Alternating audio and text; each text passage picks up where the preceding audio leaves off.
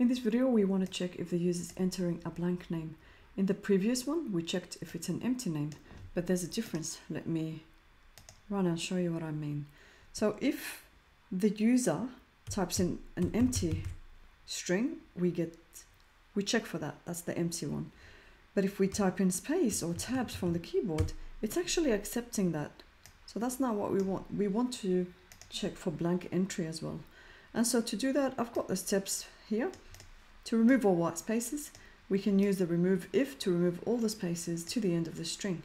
So after we've read the string from the user, we can say remove if based on a condition.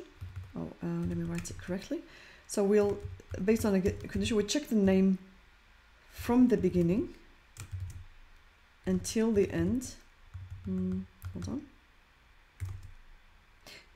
until the end for potential spaces if there is a space. Okay? Um, so what this will do this whole call to this function it will return an iterator pointing to the new end of the range. So this will move all the spaces to the end of the string and it will return an iterator. It will point to that, uh, pointing to the end, to the new end of the of the range.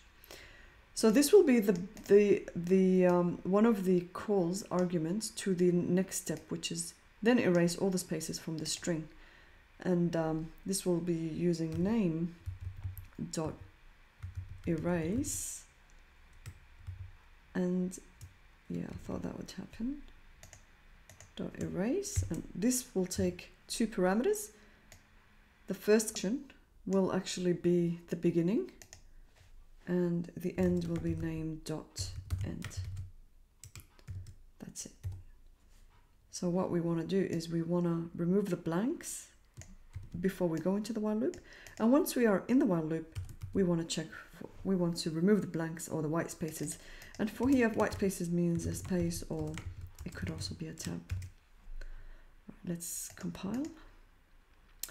All right, so I have a problem. Okay, I forgot to say that we need to include this algorithm header.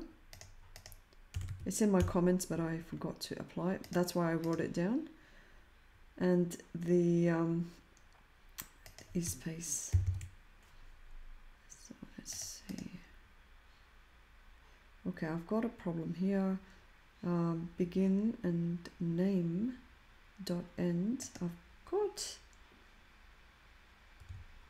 that's it yeah an extra bracket there. And another one here because it's pretty much the same mistake being replicated. All right it's good now. Let's run it. Okay so new lines is this is this is empty. Tab spaces is also now considered not happy. Even one space it's not happy with it. One tab is not happy. But if I put in anything else, it's happy with it. That's it. I hope this was helpful and I'll see you in the next video.